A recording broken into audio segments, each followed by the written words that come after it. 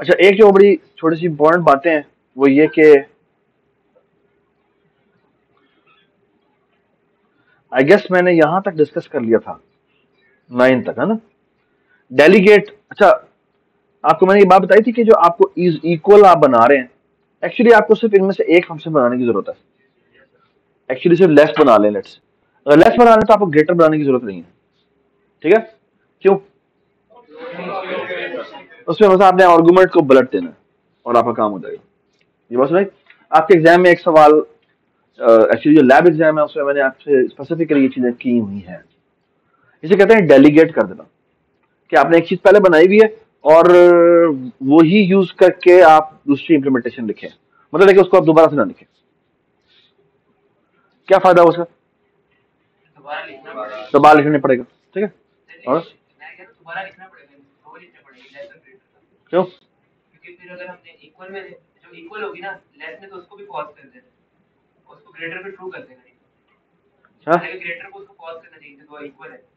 ये इक्वल तो बनेगा ही लेस ग्रेटर से बन जाएगा अगर हम लेस का बनाते हैं और हम उसके अंदर दो इक्वल स्ट्रिंग्स भेजते हैं उसको ग्रेटर में कन्वर्ट करते हैं तो वो ग्रेटर उसको जो है वो ट्रू रिटर्न करते हैं। क्यों? क्योंकि लेस तो उसको नॉट करेगा ना क्योंकि इक्वल है वो खुदा खौफ कर यार। ये थोड़ी है। ग्रेटर में हमें एक्चुअली सिर्फ़ जब हम ग्रेटर लिखेंगे तो उसमें पैरामीटर रिवर्स कर देंगे।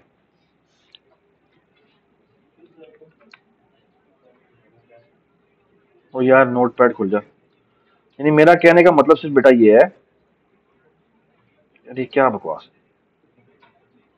मेरा कहने का मतलब ये है, जब तुम ग्रेटर लिखोगे ना लेट्स से लेस तुम लिख चुके हो।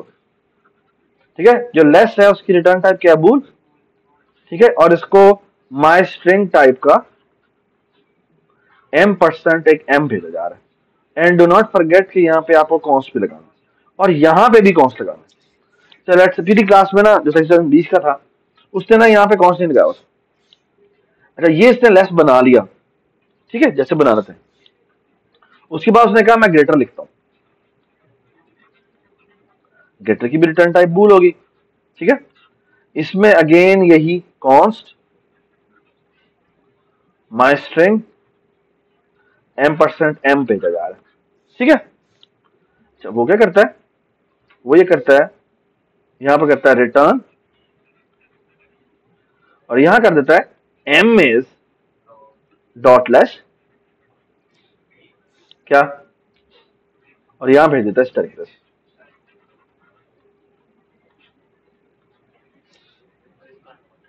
हाँ? कोई नोट नहीं, क्यों नोट आ रहा बेटा मेरी बात सुनो, मैंने ये लेस का मतलब क्या? A is less than B ऐसे ही और ये क्या है? ये A is greater than B इसको मैं ऐसे नहीं पढ़ सकता।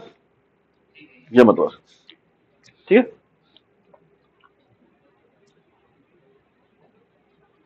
इसे कहते हैं डेलीगेट फ़ंक्शन लिखना। डेलीगेट का मतलब ये होता है कि आपको दोबारा लिखने की ज़रूरत नहीं है। ओके ये बात समझा तो for example there are so basically जैसे फॉर एग्ज़ाम्पल मैंने एक फ़ंक्शन बनाने को, एक और दो फ़ंक्शन मैंने इसके अंदर ऐड किए थे, और आई डोंट नो मैंने यहाँ पे लिखे थे या नहीं लिखे थे। वो थे टू अपर फ़ंक्शन बनाना, और टू लोअर बनाना। ठीक है? अच्छा। मेक टू वर्जन्स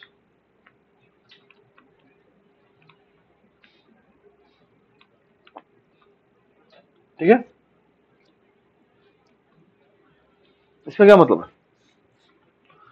तो मतलब यह है कि बेसिकली एक बनाना है आपने जिसके अंदर जो इस टाइप का होगा। फॉर uh, आप कोई भी एक इंप्लीमेंटेशन कर ले। फॉर एग्जांपल मैं इंप्लीमेंटेशन ये वाली कर रहा हूँ कि स्टैटिक या इसकी विथ कम कैसे होती है? कैसे? ओके स्टैटिक यहाँ कर देते हैं। क्या नाम था इसका टू अपर और लेट से टू अपर के बाद वो उसी स्ट्रिंग की कॉपी रिटर्न कर देता है। तो यहाँ पे हो जाएगा माई स्ट्रिंग ये थोड़े ज़्यादा छोटे नहीं हो गया ठीक है इसको थोड़ा सा बड़ा कर देते हैं। माई स्ट्रिंग ही इसकी रिटर्न टाइप हो और यहाँ पे देते हैं टू अपर ठीक है? और इसको क्या पास होता है? इसको कॉन्स्ट टू अपर जाता। है सो कॉन्स्ट क्या कह रहा हूँ मैं? इरेजर किधर है हाँ? ये। सो लेट्स से कि ये क्या करता है कि ये इसी को कॉन्स्ट माई स्ट्रिंग और ये नाम है इसका एम परसेंट और यहाँ पे है जी, ये लेट्स से इसको इससे चेंज करना। ठीक है? सो टू ऊपर एक तो तरीका ये है कि बेसिकली मैंने इसकी नई कॉपी बनानी। ठीक है? तो मैं करता हूँ। मैं यहाँ पर लिखूँगा माई स्ट्रिंग यहाँ पे लिखूँगा temp is equal to M इसका मतलब क्या है? एक इसकी नई कॉपी बन जाएगी। ठीक है? और वो जो कॉपी होगी, वो क्या होगी? वो डीप कॉपी डीप कॉपी क्यों होगी? क्योंकि हमने कॉपी कंस्ट्रक्टर बना लिया हुआ है। अगर कॉपी ना बनाया हो तो ये नहीं चलेगा। ये इसकी शैलो कॉपी बन जाएगी। अब मैंने बेसिकली क्या करना है तो बेसिकली मैंने क्या किया था इसका कि मैंने एक यूटिलिटी फ़ंक्शन बना रहे थे इसका नाम है कैर टू अपर ठीक है? इसको क्या पास होता है? इसको एक कैरेक्टर सिंबल पास होता है। और इसका काम क्या है? इसका काम है अगर कैरेक्टर स्मॉल लेटर है तो उसे कैपिटल लेटर में कन्वर्ट कर दे। वरना कुछ भी ना करें। ठीक है? सो बेसिकली हम ये करेंगे क्या इफ़ क्या? If symbol is greater than और equal to small A and symbol is less than और इक्वल टू स्मॉल सी तो क्या कर दे? Symbol minus equal to thirty two कर और ये रिटर्न क्या कर दे? सिंबल कर दे। ठीक है? डज मेक सेंस और अब देखना मैं कर दू मैं यहाँ गया, यहाँ पे मैंने लिखा फॉर लूप ये देखिए I is equal to zero I is less than temp dot size I plus plus ठीक है? और हम करते क्या है? टेम्प डॉट सीज की आईएस इंडेक्स को बराबर कर देते हैं किसके? टू अपर लेकिन यहाँ पे हम क्या कॉल कर रहे हैं? टेम्प डॉट सीज और यहाँ पे हम आए अब ये हमने एक करेक्टर भेजा है। ठीक है? तो बेसिकली क्या कर रहा है वो? उसको करेक्टर बाय करेक्टर बड़ा कर रहा है। ठीक है? और यहाँ हम कर देते हैं क्या? रिटर्न क्या बन जाएगा temp does it make sense ठीक है? I hope everybody understand it ठीक है? अब देखिए, मैं एक और काम करता हूँ। ये बैठा में क्या होगा? ये टेम्प भेजेगा तो ये इसकी कॉपी भेज रहा है। कॉपी भेजने का मतलब क्या है? सॉरी कि यहाँ पर कॉपी का सेक्टर यहाँ पर टेम्प वापस नहीं जाएगा। यहाँ पे क्या वापस जाएगा? यहाँ उस पर उसकी कॉपी रिटर्न होगी। ओके सो आप चाहे तो यहाँ पे कॉन्स भी लगा सकते हैं। ये कॉन्स क्यों लगाए ताकि जो कॉपी रिटर्न हो रही है, उसको कुछ चेंज ना कर सके? हाँ अगर वो किसी को असाइनमेंट होनी है तो वो हो जाए। आपको ये बात समझ में क्या बात की ओके अच्छा आप देखें, अब हमें एक और फ़ंक्शन लिख रहा हूँ, जो कि कॉपी कंस्ट्रक्टर जो कि डेलीगेट करेगा अपनी रिस्पॉन्सिबिलिटी अब ये फ़ंक्शन क्या है? पहले ये देख लें क्या है। ये है, ये स्टैटिक नहीं है, ये मेंबर फ़ंक्शन है। ठीक है? तो उसका नाम है लेट्स से ये भी माई स्ट्रिंग रिटर्न करता है। ठीक है? और लेट्स से ये एम परसेंट ठीक है? और ये है टू अपर और इसे कोई आर्गुमेंट पास नहीं होता। ठीक है? हम इससे एक्सपेक्ट क्या कर रहे हैं? हम इससे एक्सपेक्ट ये कर रहे हैं क्या करें? ये उसी में चेंज करें। ये उसी में चेंजेस करें। ठीक है? Now look what I will going to do what I will going to do is कि मैं क्या करूँगा? मैं लिखूँगा टू ऊपर इसमें भेज दूँगा स्टेरिक दस तो ये करेगा इसकी एक कॉपी बना के, जो भी कन्वर्जन करनी कन्वर्जन करके रिटर्न करेगा। और वो मैं असाइन कर दूँगा किसको? अब ये मसला है। मसला ये है कि अगर मैं इसको बराबर करूँ ना स्टेरिक दिस के तो एक प्रॉब्लम है। क्या प्रॉब्लम ये क्या बन रहा है? ये असाइनमेंट हो रही है। आपको मैंने बताया, अगर याद है कहा था कि मैं, हम हाँ ये नहीं होगा, ये डेलीगेट से नहीं चलेगा। Can anybody tell me that problem section B वाला तो बता सकते हैं।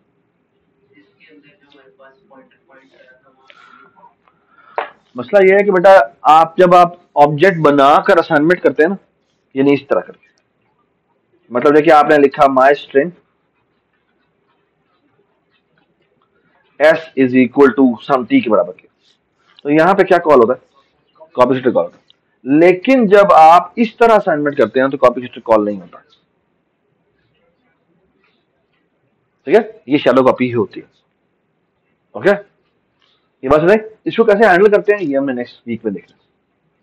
ठीक है? तो ये नहीं चलेगा। तो इसका तरीकेकार क्या होना चाहिए। That's the thing so let me try to figure that out what if कि मैं अगर इसमें लिख देता तो क्या होता? अगर मैं इसके अंदर चेंजेस करता तो क्या होता? हाँ तो ये चल रहा था। मतलब देखिए, ये जो मैंने कोड लिखा है ना सो लेक लुक एट दिस अगर मैं इसके अंदर कोड लिख लूँ क्या था, ये था ना? ये क्या है? ये सबको ऐसे नहीं ऐसे नहीं करता? हाँ? अच्छा ये होना चाहिए। ठीक ओके यहाँ पे गए। सो लेट्स से कि मैं यहाँ पे क्या करता हूँ, एक फॉर लूप लगाता हूँ। जी I is equal to zero I is less than क्या होना चाहिए बेटा? साइज़ आई प्लस प्लस और यह करेगा। ये करेगा सीज की आईएथ इंडेक्स को बराबर कर देगा। क्या? टू अपर और यहाँ पे क्या भेज देगा? सीज की आईएथ इंडेक्स ठीक है? और ये कर देगा रिटर्न क्या? स्टेरिक दिस ठीक है? Alright there is surprise and that surprise is कि अगर मैं इसके आगे कॉन्स लिख दू,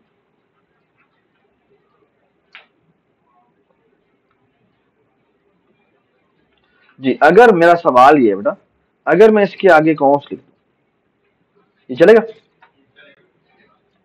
चलेगा? चलेगा? ये तो मैं चेंज नहीं कर रहा उसके अंदर। क्यों चलेगा? शाबाश। बेसिकली ये बड़ी इंपॉर्टेंट बात ये है कि एक्चुअली अगर आप इस दिस को देखें तो दिस के अंदर यहाँ पे साइज़ पड़ा और यहाँ पे सीज का पॉइंटर पड़ा ठीक है? जब आप ये कॉन्स्ट लगाते हैं, इसका मतलब है आप इन दोनों को चेंज नहीं कर सकते। लेकिन अगर ये पॉइंटर किसकी तरफ़ पॉइंट कर रहा है, उसमें चेंजेस आप कर सकते हैं। आई होप एवरीबडी अंडरस्टैंड तो यहाँ पर आप कॉन्स्ट लगा भी फ़र्क नहीं पड़ता। ठीक है? ऑल राइट कोई फ़र्क नहीं है। द थिंग इज़ इसमें कॉपी नहीं बनती, बस। मैंने डेलीगेट फ़ंक्शन नहीं बनाया। ठीक है? ओके तो मैं सोच रहा हूँ कि मैं डेलीगेट के साथ बना सकता हूँ। मेरा ख्याल है बना सकता हूँ। कैसे? ये देखता हूँ। ये देखो मैं एक इसी ये मैं इसको काट रहा हूँ। कोई आई होप के इशू नहीं होना चाहिए। ये देखिए अब मैं आपके सामने एक और इम्प्लीमेंटेशन लिखता हूँ। ठीक है? यार इसको हम्म, मैं अंडू नहीं कर सकता। ओह क्या हुआ? अच्छा ये देखिए, मैं आपके सामने एक और यही इंप्लीमेंटेशन दोबारा लिखता हूँ। यहाँ होता ना? स्टैटिक यहाँ पे क्या करता हूँ? क्या था? टू अपर यानी माई स्ट्रिंग इसकी रिटर्न टाइप होगी। और इसका नाम है टू अपर और इसको क्या पास हो रहा है? इसको माई स्ट्रिंग भेजी जा रही है। है ना? और इससे एक्सपेक्ट ये किया गया माई स्ट्रिंग आगे। आ गया एम परसेंट और यहाँ पे लेट से एस भेजा गया। और लेट से मैंने यहाँ पे कॉन्स भी लगा दी ठीक है? इसमें चेंजेस नहीं होने चाहिए। और आप देखें मैं क्या क्या कर सकता हूँ। कैसे करता हूँ? मैं कहता हूँ टेम्प बनाओ, यानी माई स्ट्रिंग टेम्प बनाओ, क्योंकि उसमें तो चेंजेस करने की ज़रूरत नहीं है। ठीक है? So my temp is equal to क्या कर दिया? एस कर दिया। और अब आपने क्या किया? आपने कॉल किया टेम्प डॉट टू अपर अब क्या हुआ? वो जो टेम्परेरी है, उसके अंदर जो है, वो वो वो खुद चेंज हो जाएगा। ये कौन सा फ़ंक्शन कॉल कर रहा है? ये इसका जो एक्चुअली मेंबर फ़ंक्शन है, वो कॉल हो रहा है। और उसके बाद हम क्या करते हैं? हम रिटर्न कर देते हैं। ठीक है? इन दोनों इंप्लीमेंटेशन फ़र्क क्या है? ये जो इंप्लीमेंटेशन है, पहली बात तो ये कि ये इसको आप पैरामीटर में भेज रहे हैं ये क्लास का मेंबर फ़ंक्शन ठीक है? दूसरी जो इंपॉर्टेंट बात है वो क्या है? वो ये है कि ये एक टेम्परेरी कॉपी रिटर्न करता है। ओरिजिनल को नहीं छेड़ता, ओके? जो उसका डॉट तो ऊपर फ़ंक्शन है, वो ओरिजिनल कॉपी को चेंज करता है। आई होप एवरीबडी ये, और इसमें एक्चुअली क्या हो रहा है? ये डेलीगेट्स की तरह यूज़ हो रहा है। ठीक है? ये अपनी रिस्पॉन्सिबिलिटी किसको डेलीगेट कर देता है? जिसका मेंबर फ़ंक्शन उसको डेलीगेट कर देता है। ठीक है? ये बात समझ में आ गई? ठीक है? आपके मिड टर्म एग्ज़ाम में ये डेलीगेट वाली चीज़ें हैं। कि आपकी एक ही इंप्लीमेंटेशन दो दफ़ा करवाई जाएगी आपसे और आपको कहना है एक के अंदर दूसरी कॉल करो। ठीक है टेक डिसीज़न केयरफुली कि कौन सी हमें इंप्लीमेंट करनी है, कौन सी हमें डेलीगेट करनी है। ठीक है? You have to be little careful जी। अगर जैसे मैं पहले सिंपल टू पर लिखा होता है, ठीक है? उसके अंदर तो एकदम डायरेक्ट चेंज कर रहा था। तो अब जब हम इस फ़ंक्शन में है इसके अंदर भी अब बल्कि जब हम टू ऊपर से कॉल करें अपेरेंटली क्या कहते हैं वो बल्कि बेसिकली तो टू ऊपर के अंदर ओरिजिनल भी चेंजेस करा लेकिन हमने उसको कॉपी एक यस वो अंदर आके आपने एक नई कॉपी बनाई है उस कॉपी में आपने चेंजेस किए और वो कॉपी रिटर्न करवा दी। ठीक है? लेकिन टू ऊपर के लिए वो अपनी तरफ़ से ओरिजिनल को नहीं कर रहा हाँ ओरिजिनल कोई कारण ठीक है? जो उस कॉपी है, उस कॉपी का ओरिजिनल वाला ही कॉल हुआ ठीक है? ठीक है? शाबाश। So both implementation are fine you should know about them.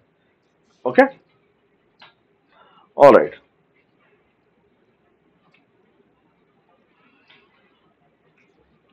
सो हमने एक बात ये कर दी कि यहाँ पे कॉस्ट लगाने का हरगिज मतलब ये नहीं है कि मैं इधर कोई पॉइंटर है जिसको जो पॉइंट कर रहा है आउटसाइड मेमोरी को वो उसमें चेंजेस नहीं कर सकता कर सकता हूँ। ठीक है? ऑल राइट हम आ जाते हैं अपनी दोबारा असाइनमेंट के ऊपर। अच्छा।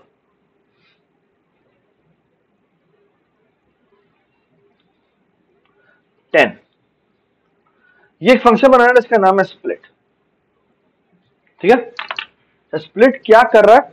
स्प्लिट का काम यह है कि बेसिकली अगर आपको थोड़ा सा बड़ा कर दूँ तो ये क्या करता है? ये एक इनपुट लेता है, एक कैरेक्टर को, ठीक है? बेसिकली इसको सिर्फ़ यही चाहिए। जिस कैरेक्टर की बेस पे उसने स्प्लिटिंग करनी है, ठीक है? मतलब क्या? फॉर एग्ज़ाम्पल मैं कहता हूँ, यहाँ पे लिखा हुआ है दिस और फिर कोई पाँच, दस दफ़ा स्पेसिस है, फिर एज है और फिर पाकिस्तान है, ठीक है? अच्छा ये जो स्प्लिट है, ये क्या करता है? ये करता ये है कि ये इस इस स्पेस की बेस पे स्प्लिटिंग करता है। ठीक है? तो सबसे पहले दिस को अलग कर देगा। और फिर उसके बाद क्योंकि कंटिग्युअसली डेलीमीटर्स पड़े हुए हैं, ये जो डेलीमीटर कैरेक्टर ये पड़ा हुआ है तो वो उसे इग्नोर करेगा। ओके तो जो सेकंड स्ट्रिंग होगी, वो कौन सी होगी? वो इज़ होगी। मतलब देखिए, एक दफ़ा वंस यू आर और डेलीमीटर तो अगर डेलीमीटर ही आता जा रहा है तो आप उसे इग्नोर करेंगे। कब तक इग्नोर करेंगे? जब तक उसको एक नॉन डेलिमिटेड कैरेक्टर नहीं मिलता। ये बात सुने? ये काम आपने कहीं होते हुए देखा है। कहाँ होते हुए देखा कंसोल से जब आप सीन करवाते हैं। कंसोल से जब आप सीन करवाते हैं तो वो एग्जैक्टली यही काम करता है। फ़ाइल रीडिंग में भी यही होता है। ठीक है? I hope everybody understand this ठीक है? तो वही काम हमने यहाँ पे करना। ठीक है? तो यू कैन एक्चुअली अंडरस्टैंड कि ये इसकी काफ़ी मज़ेदार एप्लीकेशन है। ठीक है? तो वह करता है? वो पहला, पहली स्ट्रिंग रीड करेगा। तो आई होप यू अंडरस्टैंड कि इसको एक स्ट्रिंग पास होगी और इसका काम क्या है? इसका काम है इसको तीन स्ट्रिंग्स में कन्वर्ट कर देना। ओके इसीलिए इस फ़ंक्शन की जो रिटर्न टाइप है, वो माई स्ट्रिंग का पॉइंटर है। माई स्ट्रिंग का पॉइंटर का क्या मतलब है? इसने एक अरे रिटर्न करवानी है। अब सवाल ये है कि आउटसाइड वर्ल्ड को उसको ये भी बताना पड़ेगा कि जो मैंने अरे बना के भेजी है वो कितने साइज़ की है? तो दो वैल्यूज़ तो रिटर्न नहीं करवा सकते। तो इसीलिए आपको यहाँ पे इन टेन परसेंट काउंट भेजना पड़ेगा और इस काउंट में वो क्या रिटर्न करवा के भेजेगा? कि कितनी मैंने माई स्ट्रिंग्स बनाई हैं। आउटपुट हम काउंट आउटपुट हम काउंट हम काउंट में रख देंगे कि हमें कितनी स्ट्रिंग्स मिली है और माई स्ट्रिंग में माई स्ट्रिंग में बेसिकली क्या होगा? तो एक्चुअली आपको जिस तरह की चीज़ रिटर्न करवाएँगे रिटर्न करवाएँगे। आप बेसिकली एक पॉइंटर रिटर्न करवाएँगे, जो माई स्ट्रिंग टाइप का क्या होगा? पॉइंटर होगा, यानी चार बाइट की चीज़ होगी। ये पॉइंट कर रही होगी एक अरे के ऊपर, और इस अरे में तीन ब्लॉक्स होंगे। ठीक है? और हर एक के अंदर क्या पड़ा हुआ है? साइज़ पड़ा हुआ है और सीज का पॉइंटर पड़ा हुआ है। ठीक है? ये देखिए। पहला है दिस तो दिस में कितने कैरेक्टर्स होते हैं बेटा? फोर और जो सीज का पॉइंटर है, वो मेमोरी में पॉइंट कर रहा होगा और उसमें लिखा हुआ क्या दिस बैकस्लैश एन भी ज़ीरो भी होगा। ठीक है? फिर सेकंड होगा, जिसमें होंगे दो। और यहाँ पे होगा क्या? इज़ और यहाँ पे होगा आई डोंट नो पाकिस्तान में कितने वर्ड होते होते एट तो यहाँ पे होगा एट और यहाँ पे होगा पाकिस्तान. ठीक है? और इसका कोई एड्रेस है? Let's say zero X one zero zero है. तो इसका एड्रेस होगा let's say zero X one zero eight और इसका एड्रेस होगा zero X one hundred and sixteen तो वो बन जाता है वन वन ज़ीरो ठीक है? और राइट है? किधर? डॉक्यूमेंट में?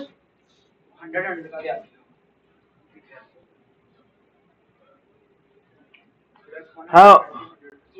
राइट यू राइट ये क्या होना चाहिए? ये I think one zero four होना चाहिए। ठीक है? यस और ये क्या हो जाएगा? ये वन ज़ीरो एट हो जाएगा। वन वन ज़ीरो नहीं। आ, ये सही दिया मैंने? एक मिनट ये गलत नहीं दिया? ओ यार क्या हो गया इसको? वन ज़ीरो एट है ना? ठीक है? तो ये वन ज़ीरो एट होगा। और ये वन वन ज़ीरो होगा यार ये क्या मसला है ठीक है? आप बताएँ। हेक्साडेसिमल है ना? तो इसमें आठ ऐड करें तो सोलह होता है। तो एक सौ सोलह नहीं होता, वन वन ज़ीरो होता है वो।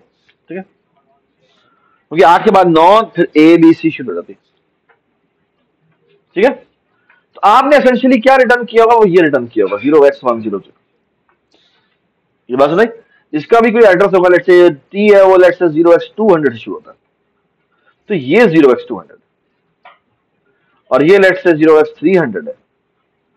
तो ये ज़ीरो एक्स थ्री हंड्रेड होगा। और ये ज़ीरो एक्स फोर हंड्रेड होगा। ये ज़ीरो एक्स फोर हंड्रेड होगा। अब एक बात सुने।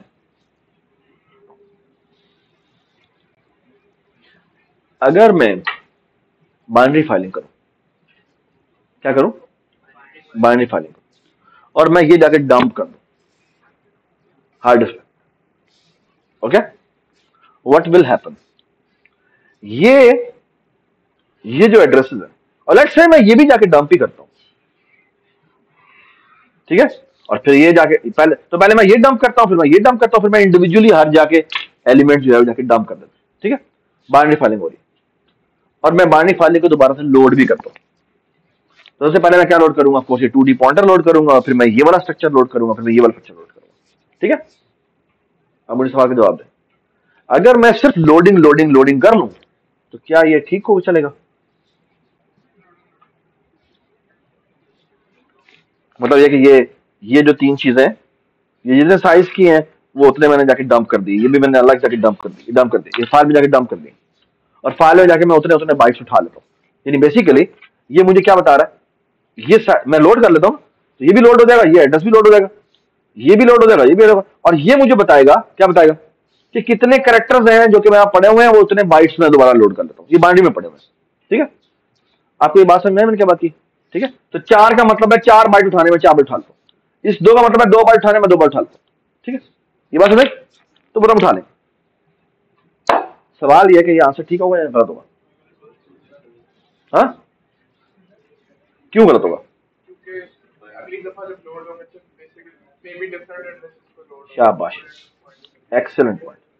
basically the problem lies addresses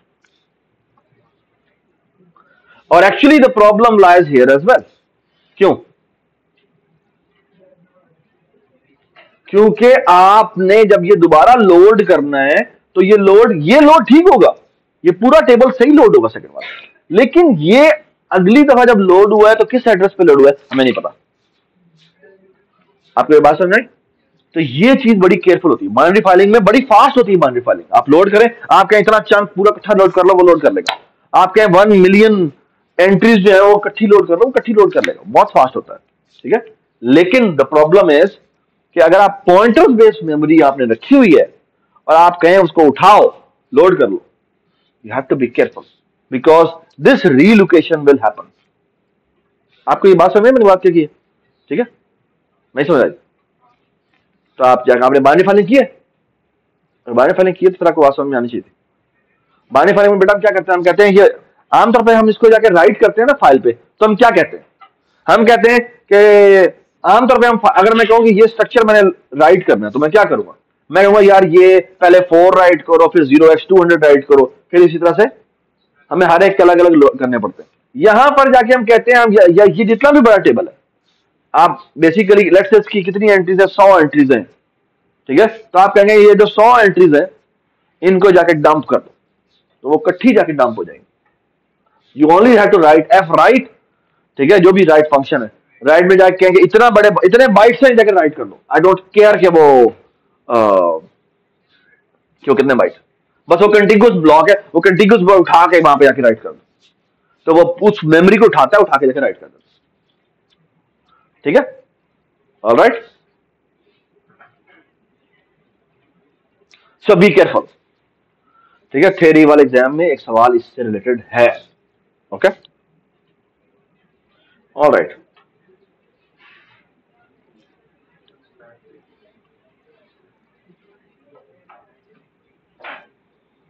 so I hope सबको ये बात समझ में आ गई।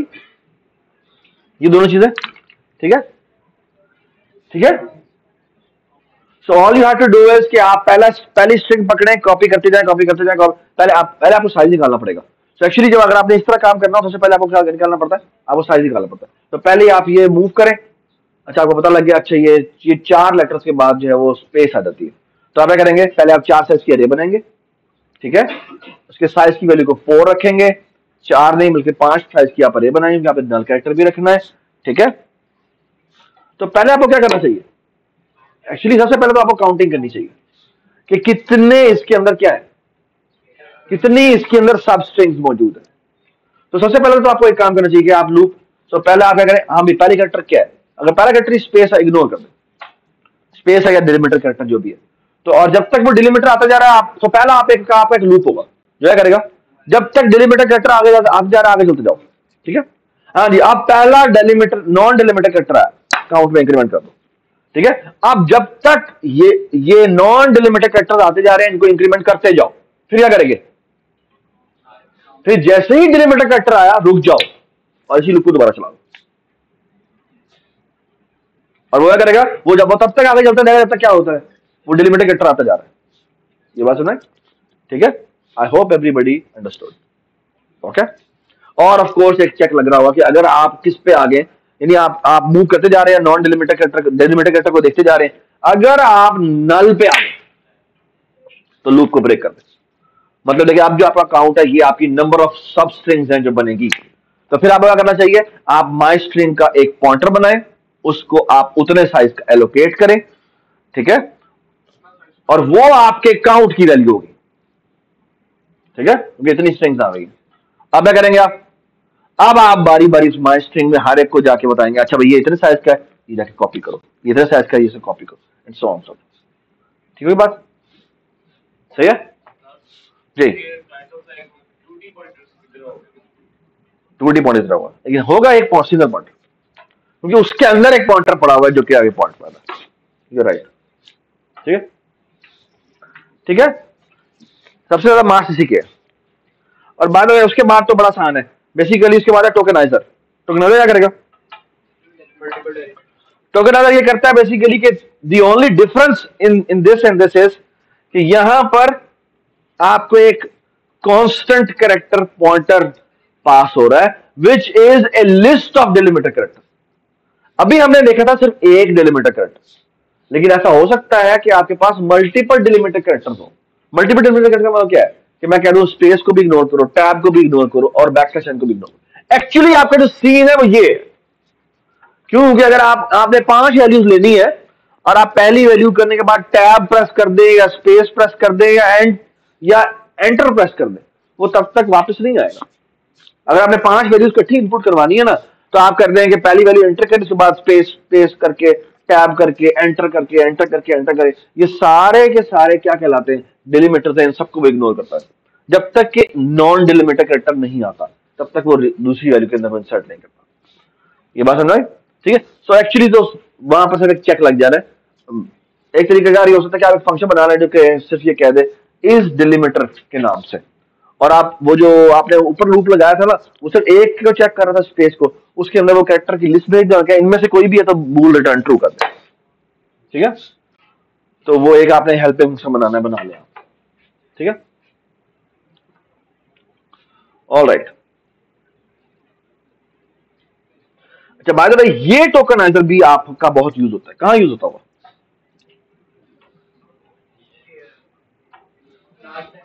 हाँ?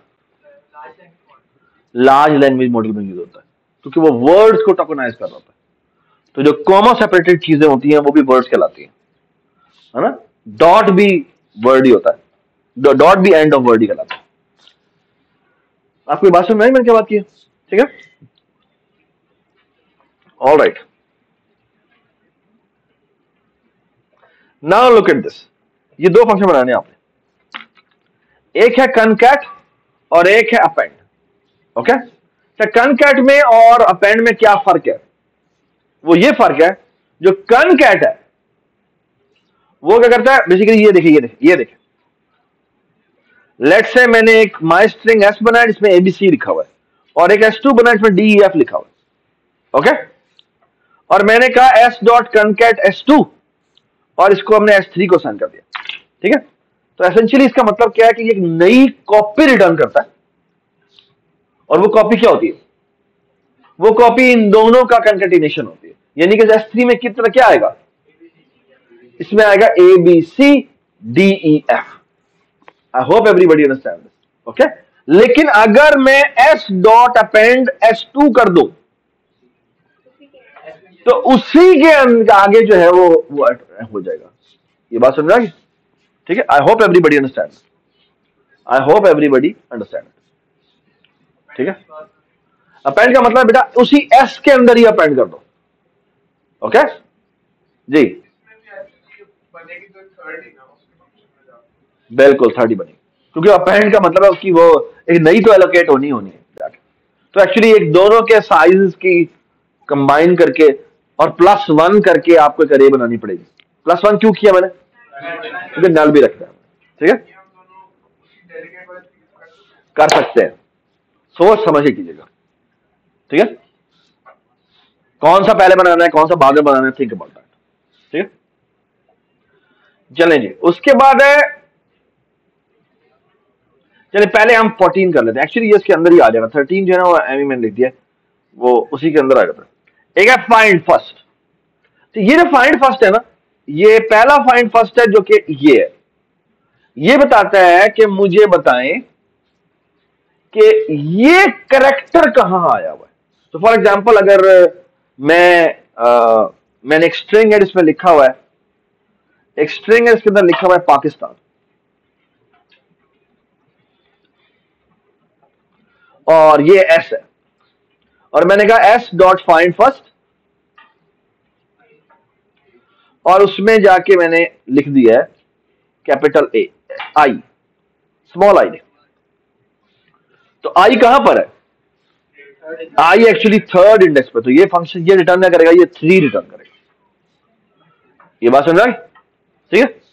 दूसरा है जिसमें मैं कह देता हूँ फाइंड फ़र्स्ट है, लेकिन यहाँ पे माई स्ट्रिंग ही भेजी जा रही है। मतलब मैंने ये भेज दिया। लेट से मैंने कह दिया इज़ ब्रूडो इसका मतलब मैं actually I am looking for this substring ये सब स्ट्रिंग पहली दफ़ा कहाँ आकर करती है?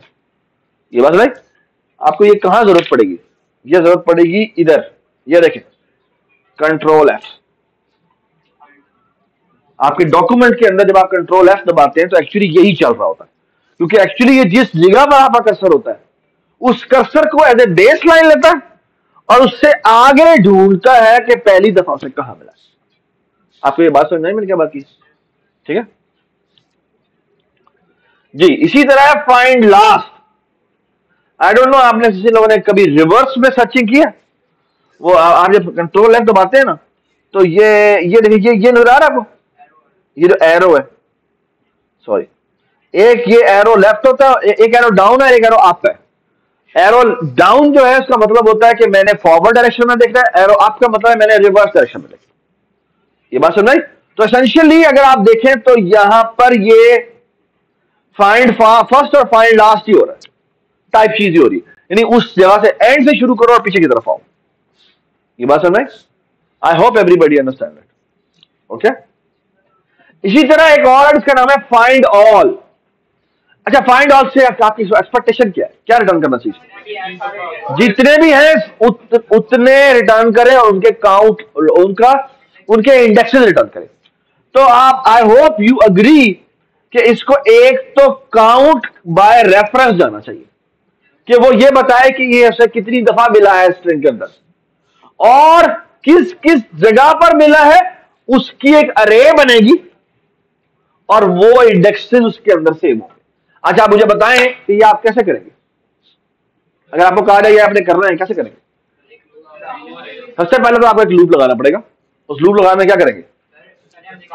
पहले हमने काउंट करना है कितनी दफ़ा आया सबसे पहला काम ये, आप काउंट कर ले कितनी दफ़ा आ गया। ताकि आप फिर उनके इंडेक्सेस की अरे बना लें। ये बात समझ आई? इस मेथड में आपको क्या करना पड़ेगा? आपको दो दफ़ा डॉक्यूमेंट को रीड करना पड़ेगा। आपको यह बात समझ आई? एक दफ़ा काउंट निकालने के लिए दूसरी दफ़ा एक्चुअल पोजीशन निकालने के लिए। अगर आप चाहते हैं डॉक्यूमेंट एक ही बार रीड हो तो आपको फिर डायनामिक अरे बनानी पड़ेगी। कि वो बारी बारी इंसर्ट अटेंड करे इंसर्ट अटेंड करे इंसर्ट अटेंड करे। आपको ये बात समझ आई? Which could be very costly again क्यों? क्योंकि हो सकता है वो आई, वो जो करेक्टर है, वो इतनी दफ़ा रिपीट हुआ हो कि बार बार कॉपिंग करनी पड़ेगी बार बार कॉपिंग करनी पड़ेगी और वो आपकी कंट्रोल से बाहर हो जाएगा। ये बात समझ आई? आप में से कितने लोग थे जो सीपी कल वाले सेशन में थे? तो एसेंशियली आपको एक वेक्टर बनाना है और उस वेक्टर का dot push back dot push back dot push back call कर जाना तो जहाँ पर भी मिले, जिस इंडेक्स पर भी मिले, उसके डॉट पुश बैक कॉल कर ये बात समझ ठीक है? और राइट चल तो वो लोग जो नहीं आए थे, वो एंड में, इस इस सेमेस्टर के एंड में ये चीज़ें देख तो लेंगे एक दफ़ा। करेंगे नहीं वो अलग बात। हाँ जी। फाइंड फ़र्स्ट कैसे कॉल करेंगे? हाँ। हाँ तो वो इतना आसान नहीं है। क्योंकि फाइंड फ़र्स्ट जो है, उसमें कहीं तुमने बताया कि यहाँ से शुरू करना है। कैसी बातें कर रहे हो? क्या करोगे तुम? कैसे करोगे? हाँ? सारे इंडेक्स चेंज कर दिए मतलब तो आपको इंडेक्स लॉस हो जाएगा। पैरामीटर में भेजें करना चाहे तो कर सकते हैं, लेकिन मेरे ख्याल में ज़रूरत नहीं। ठीक है? आप पहले ये इंप्लीमेंट कर लें उसके बाद आप जो मर्ज़ी फ़ंक्शन बना लीजिएगा। ठीक है? ठीक है बात। बिल्कुल इसी तरह एक रिमूव फ़ंक्शन भी है। अब रिमूव का मतलब है कि इस इंडेक्स पे को रिमूव कर दो। इस इंडेक्स पे जो भी कैरेक्टर से रिमूव कर दो। आपको बात समझ आई? इस इंडेक्स पे जो भी कैरेक्टर से रिमूव कर दो। अच्छा इसमें जो इंपॉर्टेंट बात है, एक तरीके का हो सकता है, जो बड़ा खराब तरीका है, वो ये है कि जिस कैरेक्टर जिस इंडेक्स की बात हो रही है, उस इंडेक्स के जितने भी आगे वाले हैं, वो सारे शिफ्ट कर दो। ठीक है? और नल भी शिफ्ट कर दो साथ तो थोड़ी सी मेमोरी आपकी ज़ाया हो जाएगी। क्यों मेमोरी ज़ाया हो जाएगी? क्योंकि आपने बेसिकली अगर पहले पहले पचास लेंथ की स्ट्रिंग थी तो अब उनचास लेंथ की स्ट्रिंग हो जाएगी। ऐसे ही है। ये आपको बात समझ में आई? क्या बात की। अब आगे बात सुने। लेकिन आपने ऐसा नहीं करना। आपने असल में कैसे करना है? आपने जिस कैरेक्टर को को रिमूव करने की बात हो रही है, आपने क्या करना है? आपने एक नई मेमोरी बनानी है। जिसको रिमूव करना है, उसको उस, वहाँ तक आपको सारे कॉपी करने पड़ेंगे। फिर उसको रिमूव उसको कॉपी नहीं करना। उसके बाद वाले जो है वो कॉपी करने पड़ेंगे। तो एक लूप और लगेगा जो कि जे होगा, जो कि बेसिकली एक, उसमें एक जे जा रहा होगा और वहाँ पर जे प्लस वन होगा। जी। हाँ? समझ में नहीं आई, क्या मतलब? लिखा हुआ लिखा था वो भी बैक स्लैश एन जो है वो एक ही कैरेक्टर है। बैक स्लैश एन तो हमने अपनी जेन में रखा हुआ ना असल में तो वहाँ पे कास्ट की वैल्यू पड़ी हुई है। Back slash n thirteen value पड़ी हुई है वहाँ। ठीक है? तो एक बाइट होता है बैक में थर्टीन पड़ा होता है। ठीक है? वो तो हमें नज़र आ रहा है कि बैक स्लैश एन दो कैरेक्टर है। ये तो हमें टेक्स्ट एडिटर जो है ना, वो धोखा देता है कि यार ये दो कैरेक्टर पड़े में से लेकिन दो कैरेक्टर नहीं पड़ा एक ही कैरेक्टर पड़ा था वो हमें दिखा, उसको as a back slash n के पर आया ठीक है? ये बात सुना रिमूव हो गया? अब है रिमूव अब है इंसर्ट एट इंसर्ट एट ये कहता है, आप इसमें थोड़ा सा फ़र्क है। वो ये अब आपको उसका रिवर्स काम करना है। रिवर्स काम करने का मतलब क्या है? आपको एक ज़्यादा साइज़ की एरे बनानी है। अब तो ये आपको काम करना ही पड़ेगा। अब मैंने पहले जिस इंडेक्स तक पे आपने कॉपी करना है, उससे एक कम तक सारा कॉपी करना है। फिर फिर उस इंडेक्स में नया कैरेक्टर रख दें और अब इसके ऊपर जो आप कॉपी करेंगे, इसका इंडेक्स आगे जा रहा होगा, और उस जिससे कॉपी कर रहे हैं, उसका इंडेक्स पीछे जा रहा होगा। ये बस भाई सो बस बी केयरफुल क्योंकि मुझे मेरा फॉर लूप में जो ये वेरिएबल होगा ना वो वो, वो आपको लूप से पहले बनाना पड़ेगा। क्यों? क्योंकि वो इंडेक्स आपको चाहिए। ठीक है? आप चाहें तो एक अलग वेरिएबल बना के कर सकते हैं। हाँ? स्टैटिक क्यों? हम उसी स्ट्रिंग में चेंजेस करना चाह रहे हैं। ठीक है? तो स्टैटिक तो नहीं होगा। क्यों? नहीं मैं कह रहा हूँ कि जैसे हमने ये या प्लीज़ खामोश। हाँ जी। उस इंडेक्स पे हमने कॉपी की फिर उस इंडेक्स पे हमने कैरेक्टर और फिर दोबारा आगे सारा साइज़ प्लस वन की एरे बन जाएगी। साइज़ पसंद की अरे बन जाएगी। फिर उसकी उस पुराने वाली को डिलीट भी ज़रूर करना है आपने। डिलीट नहीं किया तो आप किससे नंबर कटेंगे ठीक है? तो वो स्टैटिक होनी चाहिए डायनामिक होनी चाहिए डायनामिक होना चाहिए ऑफकोर्स स्टैटिक क्यों? स्टैटिक क्यों बना रहे हो? हाँ साइज़ उसके पास है तो मसला क्या है? तो फिर उसके जो हमें हमें पता होगा कि कितने नंबर एक कैरेक्टर ऐड करना है यार तो साइज़ उसका साइज़ साइज़ जो है एग्रीमेंट बाय वन हो जाएगा। और फिर मसला क्या? आपको एक नई ही परे बनानी है जो कि एक ज़्यादा साइज़ की होगी। फिर आप सारा आई तक सारे कॉपी करेंगे आई फिर आई कैरेक्टर कॉपी कर देंगे। फिर दोबारा से ये जो बाकी चंक रह गया वो कॉपी करेंगे। पुरानी वाली मेमोरी को रिलीज़ कर देंगे उसके डॉट सीज को इसकी तरफ़ पॉइंट करवा देंगे। अब बात खत्म हो गई। ठीक है? ठीक होगी बात? बेटा इसी तरह फाइंड ऑल एक और है, और वो सारी सब स्ट्रिंग ढूंढता है। ओके यानी ये जो सब स्ट्रिंग है, ये किन किन जगहों पे अक्कर करती है। ओके और जब आप टेक्स्ट एडिटर बनाएँगे जो आपका नेक्स्ट प्रोजेक्ट है, उसके अंदर ये this will be one of the essential part okay कि आपने एसेंशियली हाईलाइट करके दिखाना है कि किस जगह पर आपका ये डॉक्यूमेंट में नज़र आ रहा है। जी तो इंसर्ट हो गया। इसी तरह है remove first remove last remove all इस कैरेक्टर को सब पर रिमूव करना ठीक है? इसका एक और वर्जन है जो कि होना चाहिए। अगर आप यहाँ नहीं भी बनाएँगे तो कोई बात नहीं एक्सेप्टेबल है। लेकिन आपको ऑफकोर्स टेक्स्ट एडिटर में बनाना पड़ेगा। वो है कि अगर मैं कह दूँ कि एक सब स्ट्रिंग है उसको सबको रिमूव कर दो। Okay which is essentially equal to क्या? कि इस सब स्ट्रिंग को एक एम्प्टी सब स्ट्रिंग से रिप्लेस कर आपको ये बात समझ में मैंने क्या बात की? तो एसेंशियली अगर आप वो एक फ़ंक्शन बना लें तो आपको ये सारा कुछ कुछ कुछ ऑटोमेटिकली बन जाता है। ठीक है? इसी तरह एक क्लियर फ़ंक्शन है। क्लियर क्या करेगा? ठीक है? इसी तरह माई स्ट्रिंग है। ये डिस्ट्रक्टर है। ये किसे कॉल करेगा? अब बेसिकली ये डिस्ट्रक्टर है ये तो आप इसे सीज को डिस्ट्रॉय कर देना बस। ठीक है? ऑलराइट इस तरह टू अपर टू लोअर है, यहाँ पे ठीक है? सो फार सो गुड चलें जी अब हम थोड़ी सी मिड की डिसीज़न करते हैं। ये प्लीज़ आप जाके बना लें। अगर आपने ये नहीं बनाया, ठीक है, ये इसकी सबमिशन आज आपकी है ओके अगर ये आपने नहीं बनाया, आप कल मिड टर्म नहीं कर सकते। मेरे पहले बता वो इसके ऊपर बिल्ड ऑन हो रहा है ओके और मैं आपको पहले बता दूँ कि एक्चुअली टू डी के ऊपर काम होगा। तो एक आपको एक क्लास बनानी होगी, जिसके अंदर टू डी कोई चीज़ होगी, और उस टू डी के ऊपर कोई काम करना होगा। ओके? ये बात समझ आई? ठीक है? वो क्या क्या हो सकता है? ठीक है, वो टू डी अरेज बनाना अगर अच्छी तरह सीख लें। फिर आपको याद है, मैंने बताया था कि अगर मैं आपको कहूँ लोडिंग के दो तरीके बताए थे मैंने आपको। कि अगर आपने अरेज बनानी हो तो अरेज दो तरीकों से आप बना सकते हैं। कौन तरीके से बना सकते हैं? एक है आप आप पॉइंटर तो आप आप फ़ाइल से रीडिंग कर ना तो एक तो तरीका है कि आप डिफ़ॉल्ट सिस्टम बना दें। और फिर क्या करें? आप अरेज बना दें। और फिर हर एक का डॉट दोबारा से लोड लोड लोड कॉल करें। ओके या डॉट सेट कॉल करें। ओके दूसरा तरीका ये है कि अगर आप चाहते हैं कि नहीं वो रीडर जो है, वो उस सेक्टर में पास हो तो हमें करेंगे, फिर आप पॉइंटर्स की अरे बनाएँगे। यानी आपको टू डी पॉइंटर चाहिए होगा।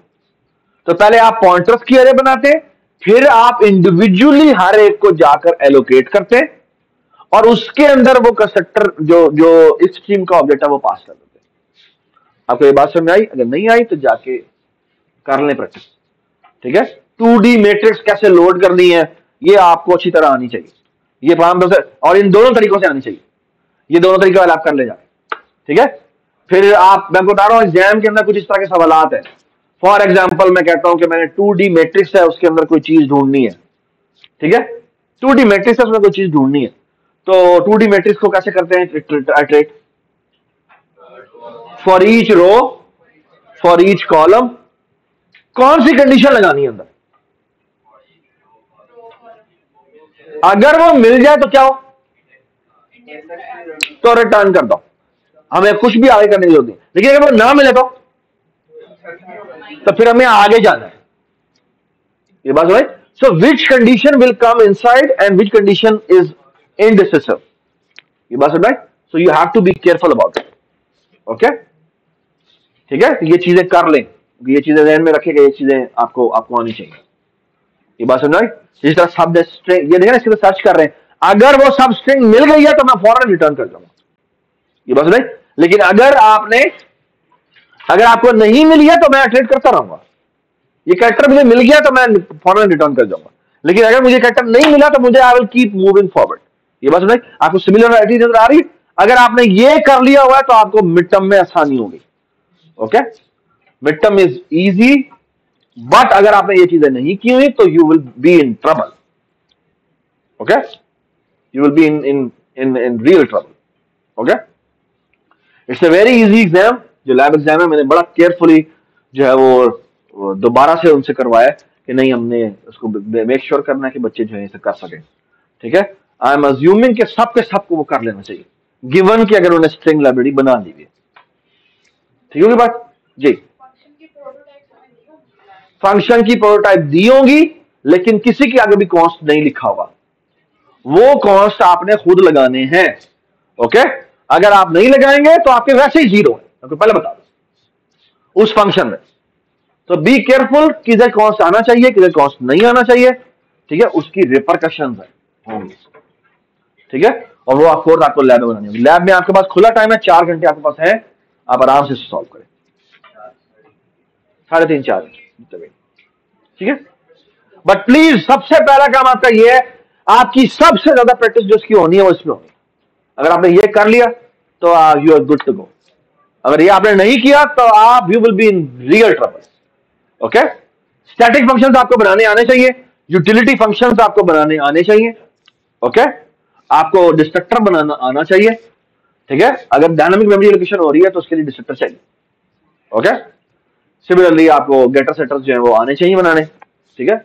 इसी तरह आपको प्रिंट फ़ंक्शन उसके अंदर बनाना आना चाहिए। ठीक है? और कोई बात? कंस्ट्रक्टर्स कॉपी सेटर्स मुझे कब चाहिए, क्यों चाहिए, ये पता होना चाहिए आपको। ठीक है? ये ये these are genuine question okay theoretical ठीक है? अभी तक हमने क्लास अभी बेसिकली हमने कौन कौन सी क्लासें बनाई है? हमने बनाई है।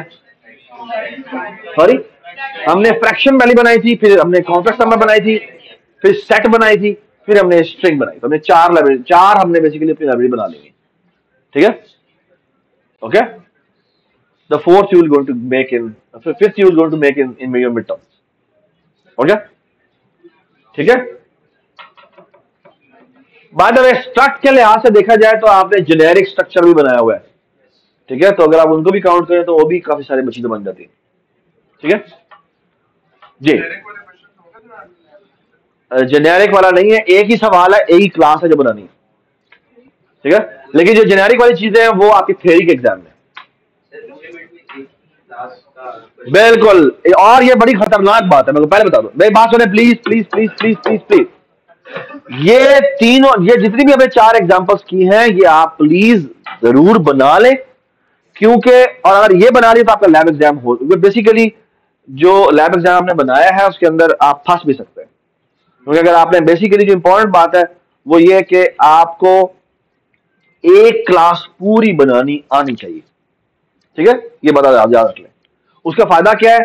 उसका फ़ायदा यह है कि अब इसीलिए हम आ, आ, हम एक ही क्लास के ऊपर रह रहे हैं। ठीक है? आपको एक ही क्लास होगी जो बनाने के लिए आएगी। और उसके तमाम फ़ंक्शंस होंगे जो बनाने होंगे। ठीक है? सो कैसे सो द थिंग इज़ कि कैसे उसे करते, उसे करने का तरीका सिंपल तरीका तरीका है। सबसे पहले क्या बनाए? सेटअप बनाए। तो सेटअप बनाने का मतलब क्या है? और सेटअप बनाने के फ़ौरन बाद एक चीज़ बना ले। क्या बनाने हाँ? फ़ंक्शन पेरेंट फ़ंक्शन क्यों पेरेंट फ़ंक्शन बना ले? ताकि चेक कर लें कि जो भी कंस्ट्रक्ट हुआ है, वो वाकई क्रिएट भी हो रहा है या नहीं हो रहा। फॉर एग्ज़ाम्पल आपने कोई भी चीज़ है लोडिंग का वाला काम किया है आपने लेट से आपको कहा कि आपने अ, आपने सेट्स जो है वो लोड किए ठीक है? तो सेट्स जो लोड हुए हैं फॉरन ही प्रिंट करा के देखो कि प्रिंट हो भी रहे या नहीं हो रहे ये बात नहीं? तो एसेंशियली आपको एक मेन प्रोवाइडेड होगा उस मेन में आपको बहुत सारे फ़ंक्शंस की टेस्टिंग करनी होगी ठीक है? वो मेन आपको दिया जाएगा। तो सबसे पहला काम ये है और वो मेन पूरा का पूरा कमेंटेड होगा। आपको सबसे पहला काम ये करना चाहिए कि जो क्रिएशन वाला पार्ट लोडिंग वाला पार्ट है वो आप कर लें ठीक है? फिर आप प्रिंटिंग वाली जो चीज़ है, उसको अनकमिट करें। ठीक है? तो सबसे पहले क्रिएशन करें, फिर क्या करें? फिर आप, यानी लोडिंग वाला पार्ट जो है, वो सारा हो गया। साथ ही प्रिंट होगा सबसे पहले काम ये कंसल्टेंट बनाए जाके, और प्रिंट फ़ंक्शन बनाए जाके। फिर आप इन दोनों को चेक कर ले कि ठीक हो रहा है या नहीं हो रहा। Okay we are good to go now okay अब अच्छा मैंने ये वाला फ़ंक्शन बनाना है। जो फ़ंक्शन बना फॉर एग्ज़ाम्पल आपने सेट्स का यूनियन बनाया, ठीक है? तो यूनियन फ़ंक्शन बनाया। यूनियन फ़ंक्शन वाला जो केस था, सिर्फ़ उसको अनकमेंट कर दिया।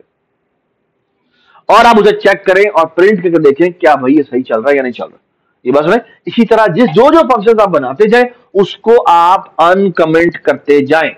ओके आपका मिड टर्म एग्ज़ाम अगर कंपाइल ना हो रहा हुआ, हम आपके कोई चीज़ भी चेक नहीं करेंगे। मैं आपको पहले बता अगर आप कंपाइलेशन एरर नहीं निकाल सकते ना तो आप पास होने के लायक नहीं है। सो मेक श्योर कि your whatever you submit is a compiled project है ना यानी वो एग्जीक्यूट हुआ हो होना चाहिए। आउटपुट ठीक नहीं आ रही दैट्स ए सेपरेट पार्ट लेकिन मैं कह रहा हूँ, अगर वो कंपाइल नहीं हो रहा तो हम उसे चेक नहीं कर सकते। अगर आप कह रहे हैं हम कोड निकाल के देखेंगे, वो हम बाद में देखेंगे। Okay the first important part is आपका जो कोड है वो सही एग्जीक्यूट होना चाहिए। ठीक है ना? उसके अंदर कोई एरर नहीं होना चाहिए। ऑफ़ कोर्स जब आपको वो हेडर फ़ाइल एक बनी बनाई मिलेगी और एक आपको सीपीपी फ़ाइल मिलेगी और उसकी सीपीपी उस हेडर की सीपीपी फ़ाइल आपको बनानी होगी। पहले आप चलाएँगे तो आपके एरर आएँगे। क्यों एरर आएँगे? क्योंकि उस हेडर फ़ाइल की कोई भी फ़ंक्शन की डेफिनेशन आपको नहीं मिली हुई, वो आपने बनानी है। वो मेन काम है आपका जो आपने आपका जो मेन काम है, वो दो है। क्या काम है? एक हेडर फ़ाइल के कॉस्ट वगैरह लिखना। ठीक है? दूसरा है कि उनकी सीपीपी फ़ाइल को लिखना ओके और फिर साथ साथ उसको टेस्ट करना। जो जो फ़ंक्शन आप नहीं बना सके, उसको अपने मेन में कमेंट रहने दें कि भाई ये ना, ये मैं नहीं बना सका। ठीक है? It will be easy for us to check as well कि यार ये फ़ंक्शन ये नहीं बना सका। ठीक है? इट्स ओके ओके और ये फ़ंक्शन बना चुका हुआ है। ठीक है? इसको चेक कर लेते हैं, हम उसके मार्क्स लगा देंगे आपको। आपको समझ में आई मैंने क्या बात की है? ये आपके लिए भी आसान है, हमारे लिए आसान है। ठीक है? और आहिस्ता आहिस्ता उसको अनलीश करें। जो जो बनाते गए आप, वो वो अनकर अगर आप कहेंगे ना, मैं सारा पहले कोड करता हूँ, उसके बाद अगर मेरे को देखूँगा चेक तो फिर आपने कर लिया काम। फिर कुछ भी नहीं होगा आपके साथ। ठीक है? सबसे पहला काम है कंसिस्टर बनाए कंसिस्टर्स बना के देखें और प्रिंट करके देखें कि आपका लोड हो रहा है नहीं हो रहा। फिर आप आहिस्ता आहिस्ता जो फ़ंक्शन रिक्वायर्ड है, वो बनाते जाए। ये बात सुन रहे ठीक है? यूटिलिटी फ़ंक्शन जिस फ़ंक्शन के लिए यूटिलिटी फ़ंक्शन चाहिए वो आप यूटिलिटी फ़ंक्शन बना अगर आपने मजीद यूटिलिटी फ़ंक्शन ऐड करनी है, आप कर सकते हैं। दैट्स ओके ठीक है?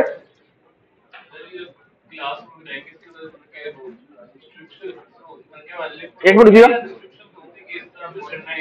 या प्लीज़ बात सुने। या प्लीज़ खामोश प्लीज़ खामोश। जी। ये जो अभी लैब एग्ज़ाम में जो क्लास आएगी तो उसको मैं ओपन जो इसमें तरह भी हमने के अपने जो फ़ंक्शन प्रोटोटाइप दी हुई है, उसके लिहाज से बनाना you have to follow that the guidance okay उसमें एक या दो सवाल जो है, वो बोनस भी होंगे। ठीक है? तो once you are done with that मेरे ख्याल में बोनस भी तुम आराम से कर सकते हो। ठीक है? It is it is a little longer exam okay आपको तीन से चार घंटे लगेंगे ही लगेंगे, आपको पहले बता दूँ। ठीक है? जो लैब एग्ज़ाम ठीक है? लेकिन आप जहन में रखें कि क्या ऐसे तो मेरी मेरा मशवरा यह है कि आपको स्ट्रिंग लाइब्रेरी आपको जो और आपकी सेट वाला जो था वो आपको दोबारा से जैकेट बनानी चाहिए। ठीक है? और आपको सिंपल सारी लोडिंग से लेकर लोडिंग भी दो तरीकों से। ठीक है? दोनों तरीकों से कि आप दो ताकि आपको पता हो कि ये लोडिंग का काम पहले पाँच मिनट में हो जाना चाहिए। ठीक है? और अगर आपने टू डी मैट्रिक्स को लोड करना हो एक, एक क्लास लेवल पे जाके तो वो कैसे करेंगे? ये आप एक कर लें। क्योंकि ये चीज़ें जो है वो आपकी आएँगी। ओके कोई भी ग्रिड है जो रीड करना है जिससे आपने प्रिजन ब्रेक किया था याद आपको? तो इस तरह एक ग्रिड एक ग्रिड की क्लास बना लें जो जो कि एक मैट्रिक्स को रीड करती है। और उसमें से जो भी है वो जो आ, जो हमने किया था जो प्रिजन ब्रेक किया था उसको इस सेटिंग में जाके कर लें। कि क्लास की सेटिंग में हमने करना हो तो कैसे करेंगे राइट और जो ग्रिड है वो कितने ग्रिड है? वो सदा पाँच ग्रिड है जो आपको दिए वो उन सब के बताना होगा ये वाला प्रिजनर निकल सकता है नहीं ये वाला प्रिजनर निकल सकता है ये नहीं निकल सकता है ठीक है? इस तरह की चीज़ जो आप जाके कर लें। समझ में आगे गई बात? ठीक है? बाकी I think good luck you are very well prepared आपको यू विल डू गुड इनशाला ठीक है अच्छा एक एक मिनट एक मिनट। सो आई थिंक एक मिनट मैं रिकॉर्डिंग स्टॉप कर दूँ।